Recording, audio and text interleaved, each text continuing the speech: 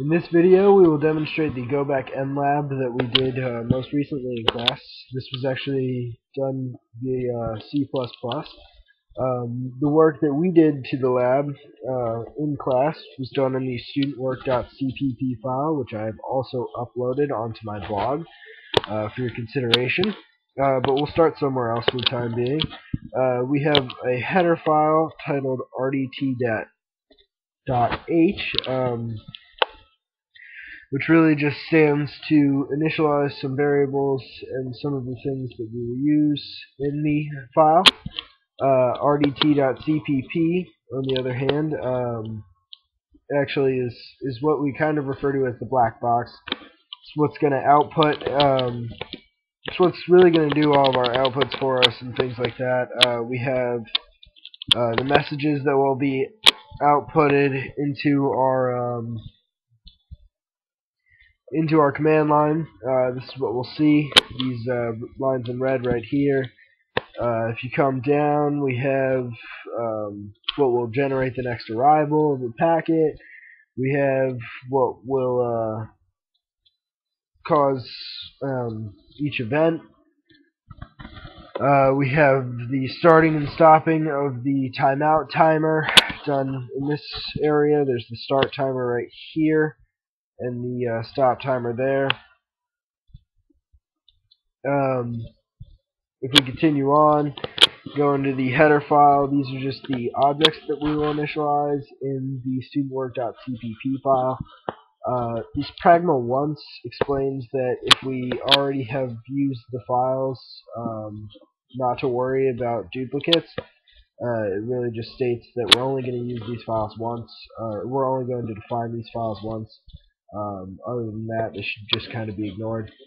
Uh, here in the studentwork.cpp file, we have our global variables um, for the first part, which comes from, a lot of this comes from uh, chapter 3.4, page 221 in our book, um, Computer Networking, a Top-Down Approach by Kurose, um, or Kurosi.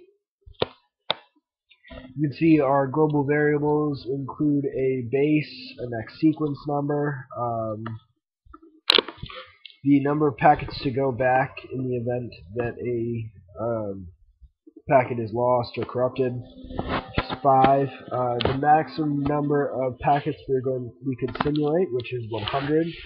Uh, the payload size, which is going to be the number of bits we're going to send. In this case, we're use 20 uh, the timeout in seconds, which will also be 20.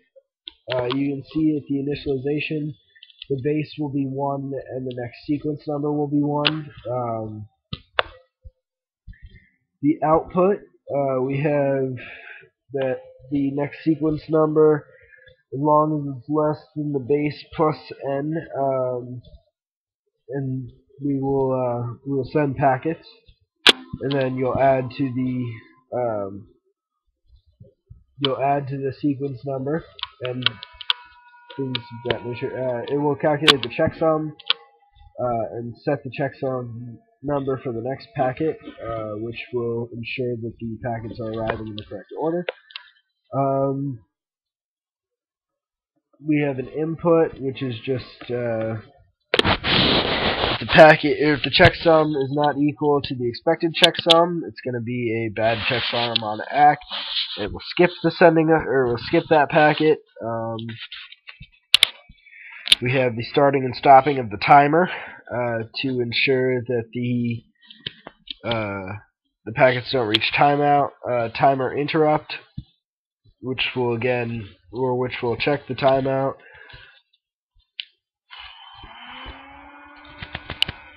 Again, uh, this is for the receiver packets. We have uh, a check for a bad checksum. We have uh, an unexpected sequence number, in which case it'll ask for a uh, duplicate ACK to be sent. Um, we have what will be really included in the packet payload um, and the checksum. Uh, we are not doing for the receiver a timeout period. Um, just a bad checksum from the From the receiver packet, again, we just uh, declare the payload. Um, so we will now demonstrate the running of the lab. Uh, the first thing we're going to do is just a base case, in which case we're only going to send one packet. We're going to assume that there's zero packet loss and zero corruption. Uh, let's say the average time between packets is going to be 5 seconds, and the trace will set to 5. Uh, now you can see the packet was sent. Um, the message given on the other side was all A's, um, and there's 20 of them because that's what's in our payload. Uh, the next packet would have been sent at 5.96 seconds. Uh, however, after the first packet arrived at point or at the first layer um, at the sender at 0.46 seconds, uh, the next packet will arrive to the sender at 8 seconds. Um, the first packet arrives at the receiver at 5 seconds. Um, and then you can see that the future time will be 20 seconds because the packet's already arrived, um, and therefore um, the next time we only sent one, so the next time the packet would be expected uh, wouldn't be until this timeout ended, uh, because we're no longer expecting any more packets. Um, so now we'll try a little bit bigger size um, in order to maybe see some more things happen. Oops.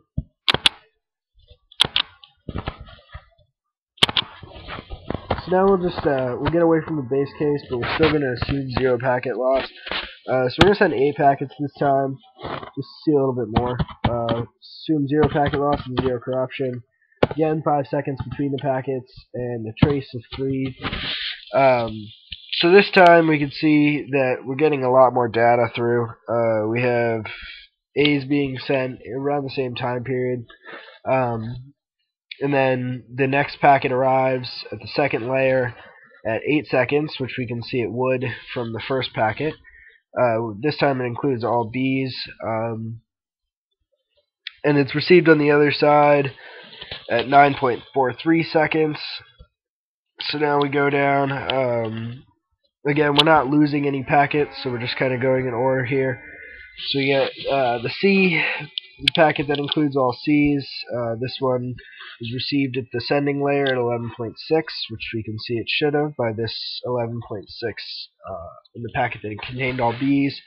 Um, it's sent across to the other side, and now we're expecting the next packet at 15.6 or 15.106. Um, so we get C's, and then D's are sent, and then it starts over. Um, so now we're going to try to make it a little more interesting by including some packet loss or uh, corruption. And the first time we're just going to use packet loss um, to kind of show the differences. So we'll assume 8 packets being sent again, and 50% packet loss this time, as denoted by 0.5. 0% uh, corruption again. We're going to assume 5 seconds between each packet, and a trace of 3. Uh, so this time we should see some packets being lost. Uh, for example, the A's are, or the first packet, which includes all A's, is received. However, there is a packet lost um, on the way to layer 3. Um, the packet, the B packet is lost um, on its way over to the student. Uh, the C packet appears to be successfully received. Uh, the E's are also lost, which is the fifth packet we tried to send on the way to the students. Um, so now we try to we start over and we send A's again. Um, both B's and C's are lost, as you can see from from these two messages right here. Uh, so we skip down, and then the D packets are sent. So now we will try to uh, just try to see if we can send packets without loss, but this time the packets will be corrupted um, on the way. So we'll send 8 packets again. We'll assume 0% loss, but 50% corruption. Uh, say 5 seconds between and a trace of 3. Um, now, so on this one, uh, you can see that the second packet is corrupted, um, which is uh, the B packet is corrupted before it gets to the student. Um, C, the packet that contains C's has also been corrupted, as well as the packet that contains D's. Uh, so, so far, I think the only packet that hasn't been corrupted is just the A packet. Um, so we go down here, again, all the packets are corrupted in this section. Um, so you can see that just at 50% corruption, we actually get a lot of corruption within the files. Um, and it really hinders our sending ability. Um, you have the A sent correctly here. The B's, again, are, the B packet is corrupted. The C packet is sent correctly. The D packet is corrupted. Um, so all those packets will have to be resent uh, eventually in order to ensure that the receiver is actually getting the right information. Um, so now we're going to try and run the simulation with both packet loss and corruption, and just see how greatly that affects our ability to send packets.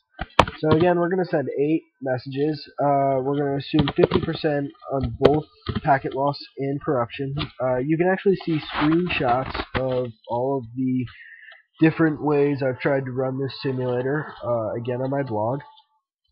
But if we assume, um, again, the average time between senders is 5 seconds, and we do a trace of 3, uh, we should see a bit of everything in this packet. Successfully sent, uh, corrupted, and uh, lost packets.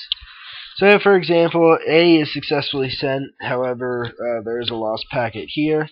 Uh, B is lost, and C is corrupted. Um, so we have B, B being lost here, and C being corrupted here. Um, so we have bad checksums, we have lost packets, uh, just pretty much the packets are greatly affected, or the just the ability to send is so greatly affected um, by the uh, just the 50% for each one. Um, we have a successfully sent packet for the A's, uh, but the B's are corrupted, the C's are lost, uh, the D packet is corrupted. Uh, so if you really just see, uh, I mean, even 50% for each is such a greatly um, just greatly affects our ability to uh, to send and receive with success from the receiver to the packet, uh, or to, from the sender to the receiver. So again, um, all of these labs have been post, or all of these screenshots have been posted to my blog, um, along with this commented out version of studentwork.cpp. Uh, if you'd like to see those, again, it's WordPress forward slash Maxwell Sullivan. Um, and uh, enjoy. Thank you.